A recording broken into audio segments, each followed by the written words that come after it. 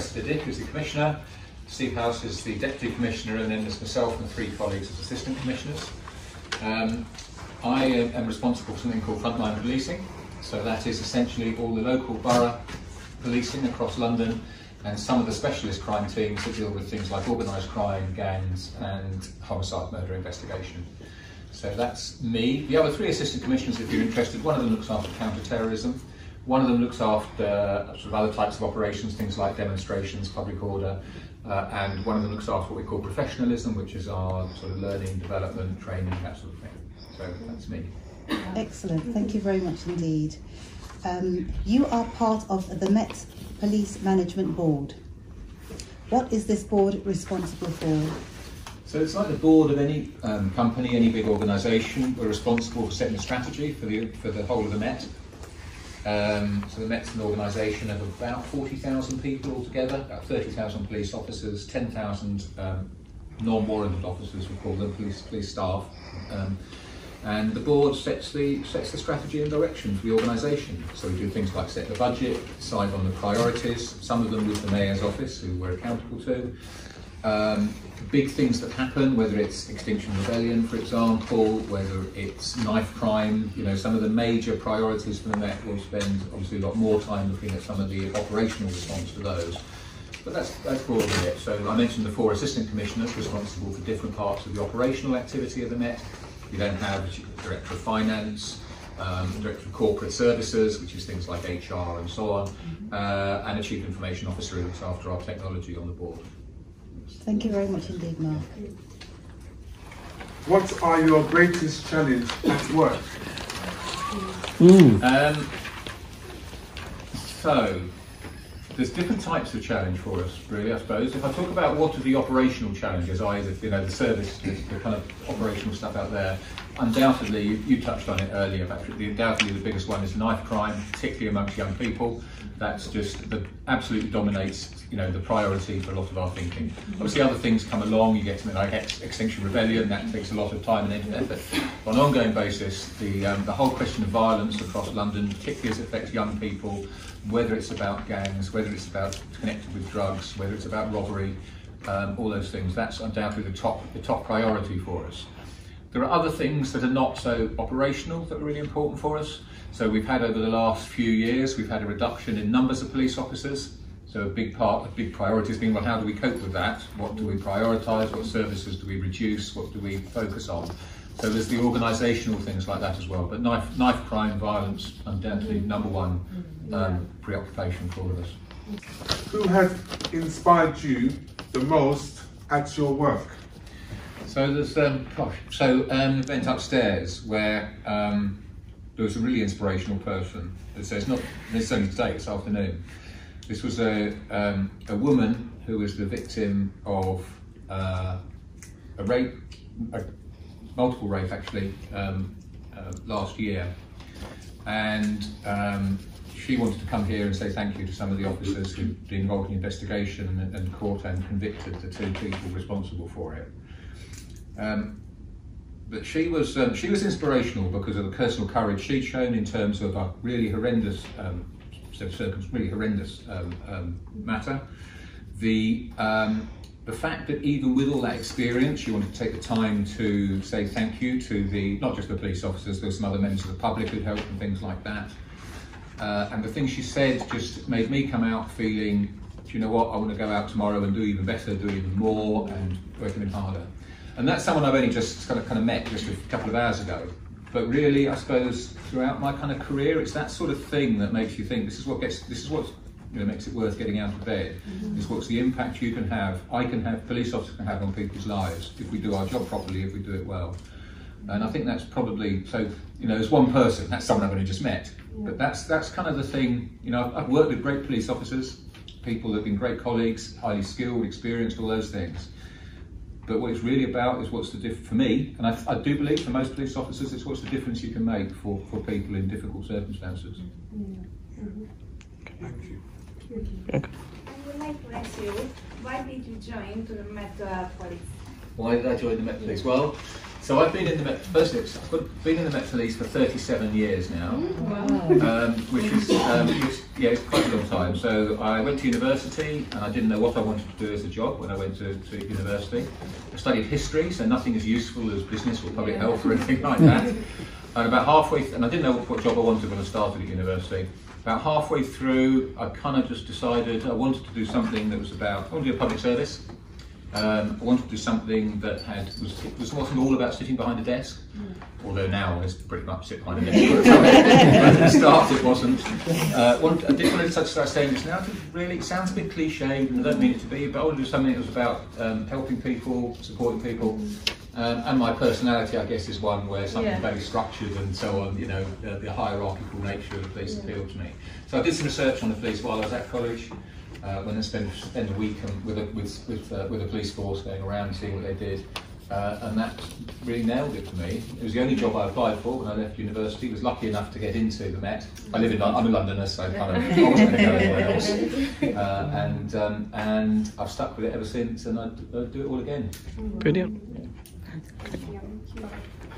So, Mr. AC Mark, um, the figures released in February showed the number of deaths as a result of knife crime in England and Wales.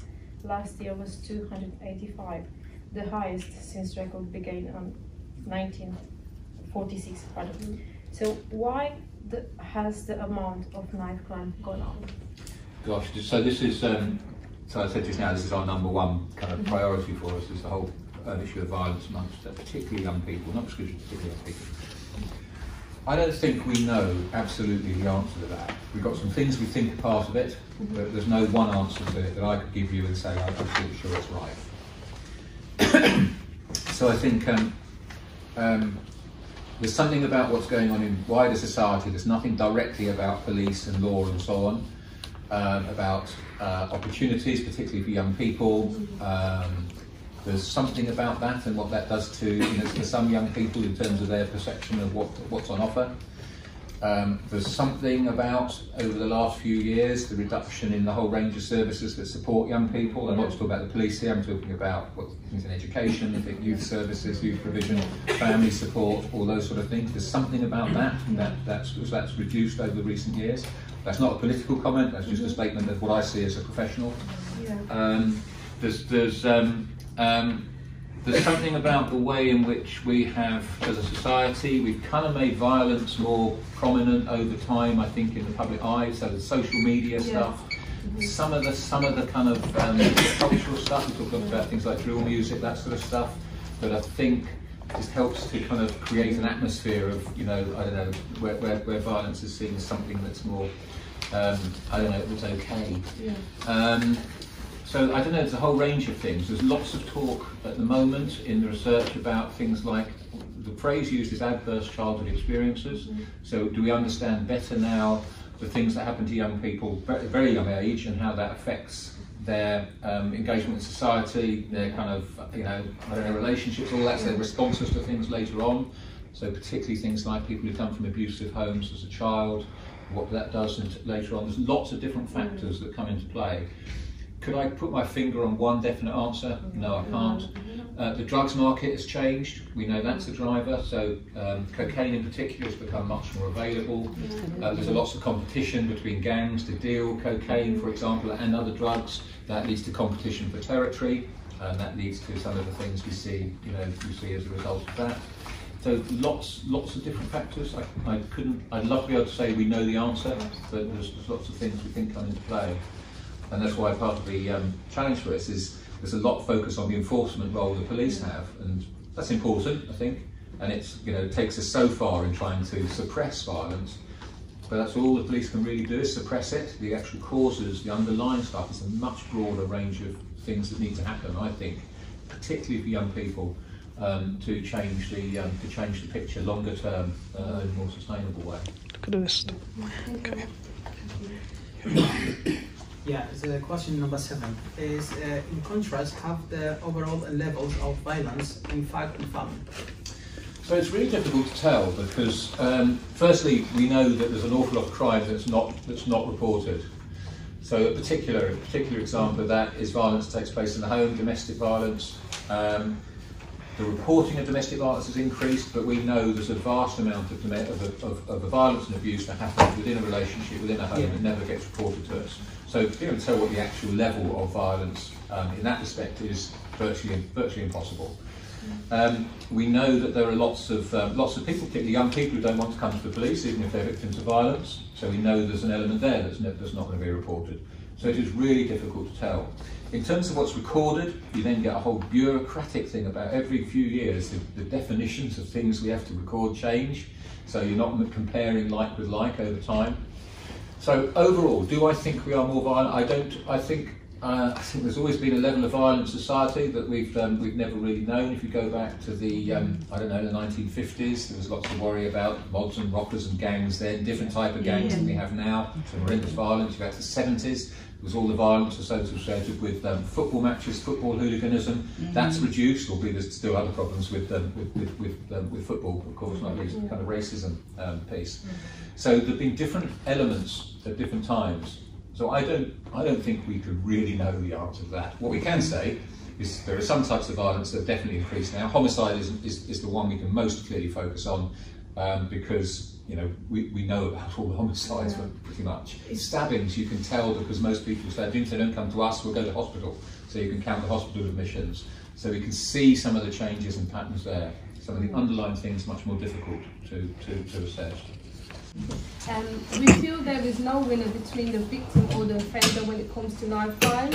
Um, would you be eager to work with us to create a campaign on this topic? Um, Sure. we just want everyone to know, um, or whoever we work with, to be clear that the message is no one will ever win when it comes to knife crime. So, um, uh, so to answer a bit about would I be prepared to work in a campaign? Absolutely. We think it's really important that, that, that, that you know there are lots of messages for people to try and um, try and affect whether they get involved in carrying knife and wherever that leaves them. Um, I also know that a lot of the messages are most effective when they don't necessarily come from a police officer, but when they come from people in the community or people that kind of, you know, that, that, that, that's very different. Um, and there are no winners. No, no. Of course, I mean, of course, the worst tragedy is to lose your life. And you know, I was at an event in um, in Brixton three weeks ago where there were a number of families, family members, mums in particular, who've lost children to Yeah. knife crime and violence. That's the worst tragedy of all. What, that's awful. Yeah. Yes, it's a tragedy for the families where you know the person who's done the stabbing gets mm. locked up and effectively loses a large part of their life. That's a tragedy as well. Yes. But the biggest tragedy is that is, is, is the you know for the bereaved families, the people left Absolutely. behind. Yeah. You get in a fight, and the person who is injured is the loser of that fight, Yeah. and both people you know contributing to that. Um, so you know it's, it's um, yeah it's it's it's, it's really hard in that respect. But no, the worst tragedy is, is that, you know you meet uh, you may know you may have friends um, you know families you know in the same way when you meet you meet the people who are left behind, mums and dads and so on, um, of um, particularly young people. Um, it's not just young people, particularly young people. It's just heartbreaking. Yeah. You. Um, knife crime, knife crime is a particular um, big issue in the news now. Why do you think the media is um, focusing on knife crime at such a level? So I think it's because people are, are, are really worried about it and have woken up to it. Um, so um, the media, right, the media are tricky, aren't they? So you don't get many good news stories in the media. Um, the media like the drama, like is maybe the wrong word, maybe unfair, but it's good news to have a dramatic scene with lots of blue lights Yeah. flashing and people Yeah. very upset and distressed and to be able to talk about how horrendous something thing is. So they, they um, I think, I think having said that, I think the media, particularly more serious end, the media are genuinely interested in it in the same way that you're asking questions about it. They want to understand what is happening, what the, the trends are, um, you know, what the things are that happen. There's a bit of, um, so I don't know, I, my view, there's a bit of voyeurism in it. So a lot of people who watch the news, you know, if you think there are some places where, the, you know, there's more of the stabbings than other places, they tend to be inner London, they tend to be the poorer communities. They're often communities, there's a large black population there, we know that's Yeah. disproportionate. There are people who are, I think there's a voyeuristic element in it. It happens to other people in other places, not where I live, not my family. And, you know, and I don't know, that's a personal opinion on some of that. Um, but I also think there is a thing now, this has become such a currency in the news, in the media, in political debate, in everything, that there is a bit about people who've woken up to the fact it's a real, it is, you know, the scale of the problem. It took a while for that to happen, I think. Yeah. So, you know, that kind of reason. But lots of different, again, I would say lots of different factors. The BBC reports that out of the 44 police forces across the areas, 42 recorded a rise in knife crime since 2011. Is this report is alignment in with, uh, with the use of the Met Police? Yeah, it does. So we've seen, we saw knife crime start to rise in London a bit before some of the other parts of the country, and now some of the other parts, some of the other cities in the country, particularly uh, you know, some, like Birmingham, uh, Liverpool, Manchester, the rise is actually greater than it is in London at the moment. So it's they're kind of, it's not because it's just they're kind of catching up. We've also seen some of the some rise in some of the more rural parts of the country as well. Numbers, are, the volume is smaller, the numbers are smaller, but still a rise. Um, so yeah, it's absolutely what we're, what we're seeing. I'm trying to think which the force is that hasn't seen a rise. It's probably the city of London, I guess, because there's virtually no one lives there. But um, um, you know, that's just a square mile in the, in the middle. But um, yeah, that's absolutely our experience. Um, some of it's connected with the thing that again there's been lots about in the media about called county lines drug dealing. So gangs in London dealing drugs that are running them out into, you know, places that are outside London, and sometimes that leads to the violence happening in, you know, the place that they're trying to sell the drugs in because they're trying to compete for the market there. Um, so there's a bit of that, um, but broadly, you know, yes, absolutely, that's, that's the experience. Mr. Commissioner, is there a link between a fall in police numbers and the rise of violent crime? And can we keep people, for instance, safe in the streets on the cheap? Wow. Um, so is there, is there a link? So I think there's a link between the fall in police numbers, but as I said before in answer to the question about what causes violent crime, I don't think you can say it's as simple as it's just because there's fewer police. As I said, really, the police will suppress violence, but we can't stop, we can't deal with the underlying problems. There's a phrase we use that you can't, you can't arrest your way out of the problem. You know, arresting more people might Yeah. stop some things happening tonight, but it doesn't solve the long term, the long term problem. Uh, and there is no answer in the cheap, I don't think. No, I think I talked earlier on about the investment. When I was um, um, in about, well, in the 2000s, I worked as uh, chief superintendent in a part of East London.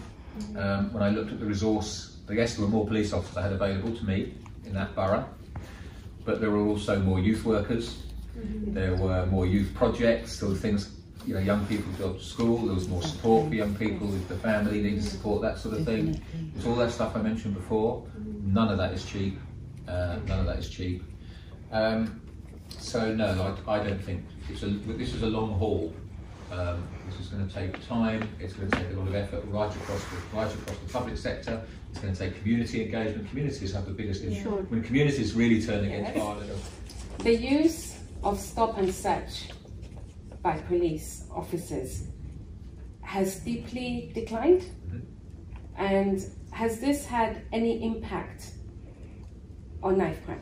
Um, again, it's very difficult to be scientific about it, but it is noticeable that um, if you look at the rise in knife crime, the graphs are going that way. At the same time, the graph on stop and search goes the other way. So we think we think it is. Um, it's not as simple as therefore if you do more. So we've increased the amount of stop and search quite a lot over the last year, um, by, about three quarters, um, more, um, 72% more. So it's a lot more. Um, it's again, it's not the only solution. Uh, and there's lots of challenges with stop and search. We know that's deeply contentious in the history of, of stop and search. So it's not a straightforward thing. We have to work hard at the kind of way in which we do stop and search and the engagement around it. Um, the use of body worn cameras um, is a big important piece for that. So that every encounter is recorded. There's the accountability that goes with that and the transparency that goes with that.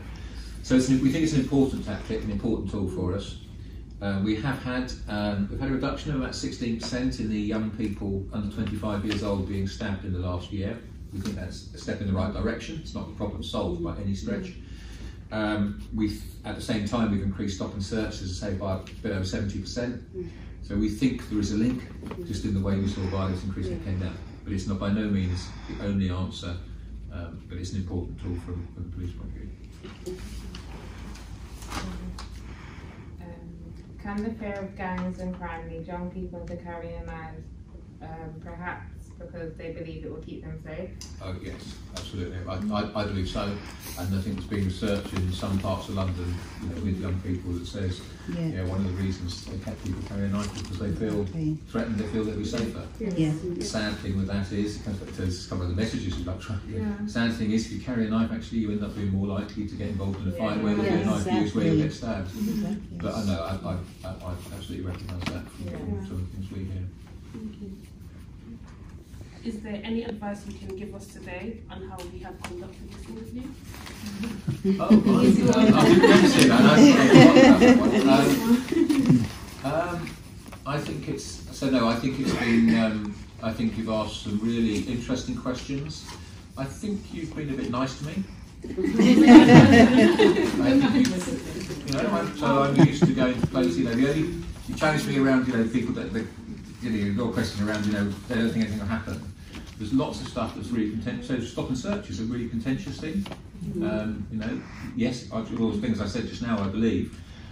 But we also know it's very unpopular in, in some people, and there's times when it goes wrong and, and has an adverse effect. You could, you know, normally I get a bit more challenge to the other side of that coin. Um, you could have challenged me a bit more about some of the things that, you know, I would, I'm not saying I'm, I'm, I'm not saying I'm pleased you. but yeah, you could have, you could have, you could have challenged me a bit more. So you were quite nice to me, actually. so I don't know if you're just very polite or uh, whatever. I believe so. I, I believe the police should be accountable. I think should and we are accountable formally through the courts, through Parliament, through all those sort of things. I think we should be accountable to communities, to people that are receiving any service we provide.